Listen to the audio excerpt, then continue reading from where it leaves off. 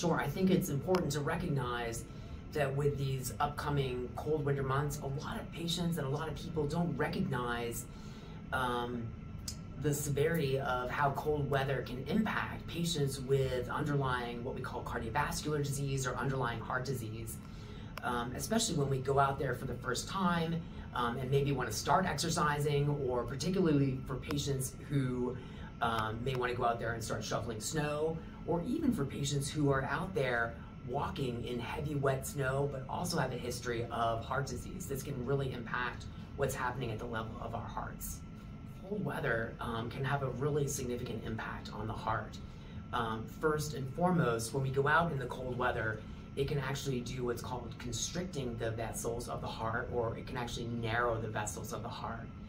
In addition, cold weather in and of itself can actually create clots.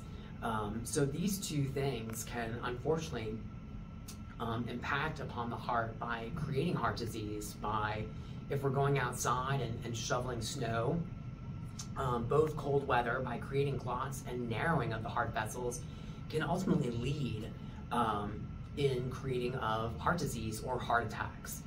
So then if we're going out for the first time, maybe for the first time in the year, uh, if this is a New Year's resolution and we're going out there and shoveling snow or exercising, this is creating an increased demand on the supply that the heart requires, whether it's oxygen and nutrients by shoveling and exercising. Then in addition, the cold weather is creating that constriction or the narrowing of the vessels of the heart.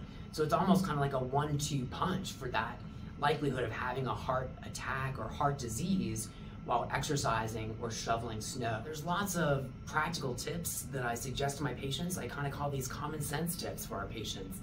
I think it's really important to, if you're gonna get out there and exercise, um, as well as shoveling snow, it's important to take breaks and listen to your body.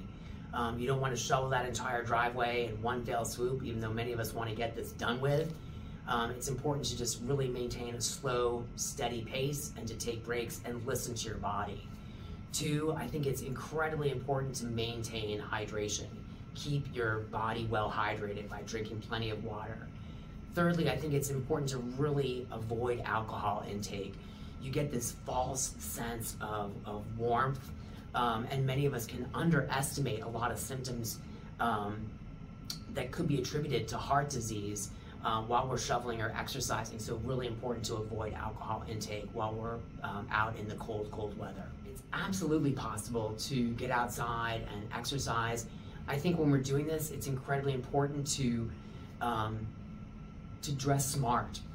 Many of us who might not be familiar with cold, cold weather, if we didn't grow, grow up in a cold weather environment, many of us jump for that quick t-shirt, uh, a cotton t-shirt to put on first but it's important that when we're outside and sweating um, in the cold weather, that that creates a damp body environment. So you might want to wear kind of like a sports performance, uh, kind of a t-shirt um, to kind of, that wicks away that sweat from our body, so we don't have that core uh, damp layer.